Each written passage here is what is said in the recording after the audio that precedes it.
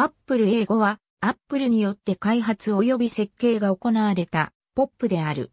CPU コアと GPU などの周辺回路を集積したソックに DRAM 台を重ねたパッケージになっている。本校ではメモリ帯域と GPU の性能を向上させた Apple 英語 X もまとめて記載する。Apple 英語 X チップチップ単体での販売はされていない。CPU コアは32ビット ARM アーキテクチャベースで A4 の ARM Cortex A8 から Cortex A9 へ置き換えられた。iPad に iPhone 4S、iPod Touch、iPad、iPad mini はデュアルコア。Apple TV 第3世代はシングルコア。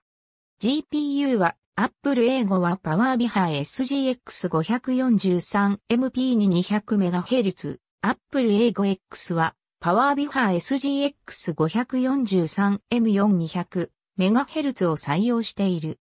それぞれ 12.8G フラップスと 25.6G フラップス。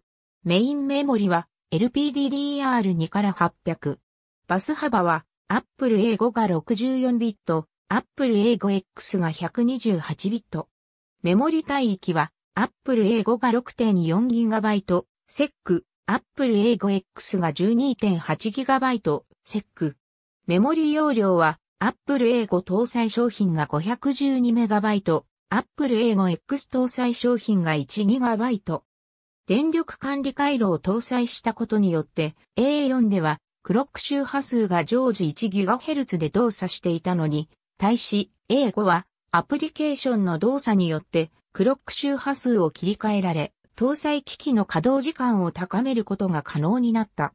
Apple A4 と性能を比較すると、処理性能が2倍、グラフィック性能が9倍と、パフォーマンスが大幅に向上している。